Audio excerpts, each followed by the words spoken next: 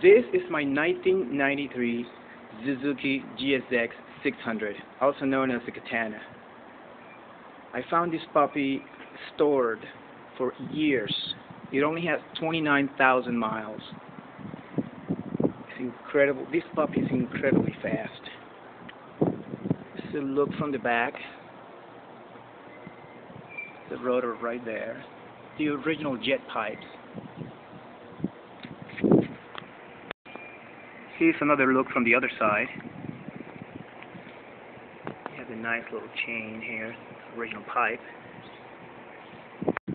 Sweet line, beautiful line, incredible, and very complex braking system only Suzuki can come up with.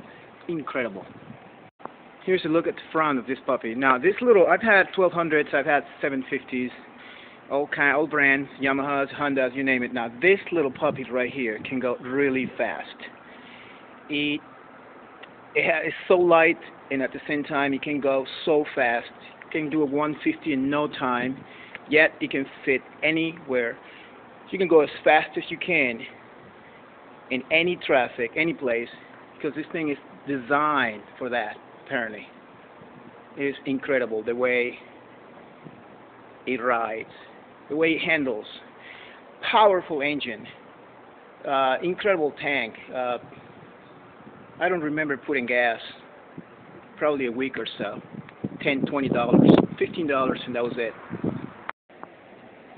There you go, 29,000 miles. Actually, it came with 28. I just put a 500. I love this bike. Out of all the bikes that I've had, this Katana, this 93 Katana, is a classic little Katana. I don't believe I've seen a couple of more here and there. This little puppy is so perfect. It's powerful enough, small enough, and yet it just handles like I just uh, I can't get off this bike. And here you have it, the 1993 Suzuki GSX 600, also known as the Katana.